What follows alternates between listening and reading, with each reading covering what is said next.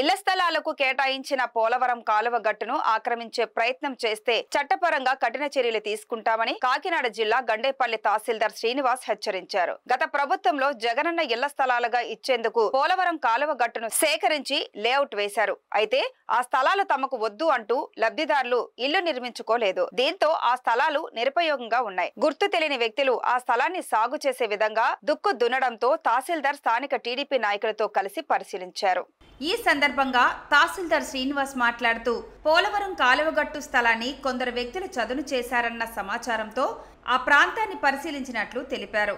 అనుమతులు లేకుండా ఆ స్థలంలోకి ఎవరు ప్రవేశించరాదని చట్టాన్ని ధిక్కరిస్తే కఠిన చర్యలు తప్పవని హెచ్చరించారు. వ్యక్తుల వివరాలు అయితే తెలియలేదు కానీ కొంచెం అక్కడక్కడ చదువు చేసి ఉన్నది దీని మీద ఎవరైనా చేసిన వ్యక్తుల మీద చట్టపరమైన చర్యలు తీసుకోవడం జరుగుతుంది. అయితే ఈ భూమి ఇళ్ళ స్థలాలు కేటాయించింది కాబట్టి ఎవరు కూడా అనుమతి లేకుండా ఈ భూమిలోకి ప్రవేశించడానికి అవకాశం లేదు. ఈ అటువంటి ప్రభుత్వ నిబంధనలు అతిక్రమించిన వారి మీద చట్టపరమైన చర్యలు తీసుకోబడి అని చెప్పేసి తెలియజేయడం జరుగుతుంది.